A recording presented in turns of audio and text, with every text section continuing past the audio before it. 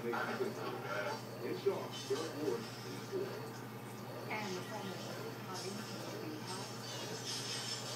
ahead tonight, she a free woman tomorrow. Casey Anthony may still have to answer questions about her daughter's